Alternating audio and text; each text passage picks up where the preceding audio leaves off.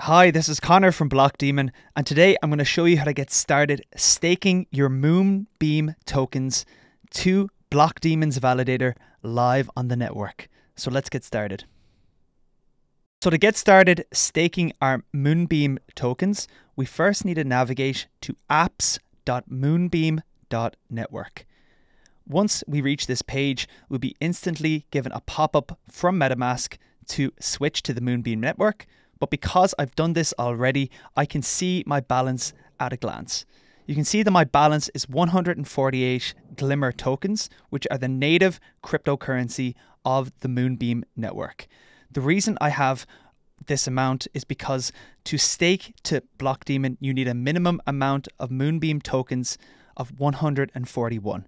So anything above 141 is acceptable to bond to Blockdaemon's validator. So because I have this already, we're going to start this staking journey by clicking on the Manage Delegations button, where we'll see we have a staking dashboard in front of us. We can select a validator on this dashboard, and we're going to select Blockdaemon as ours.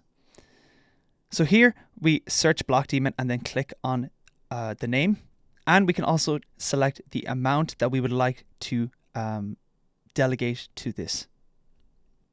Once we've selected a slightly lower balance than our total uh, amount of stake, we can successfully delegate to Blockdaemon.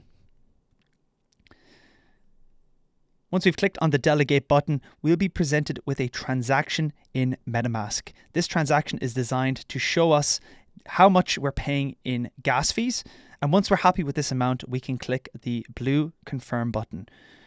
We'll just have to wait a few short moments for the transaction to process, and then we'll get a green pop up window within the staking dashboard to show that the transaction has been confirmed. You see now that our delegations have changed and that Blockdaemon has now appeared in the delegations tab. We can see that we're current, or you can see our current round and the total amount that has been successfully bonded to Blockdaemon. So there you have it. That is how you get started up and running with staking your Moonbeam Glimmer tokens to Blockdaemon live on the network. I hope this helps, and if you have any questions, please do not hesitate to reach out to us.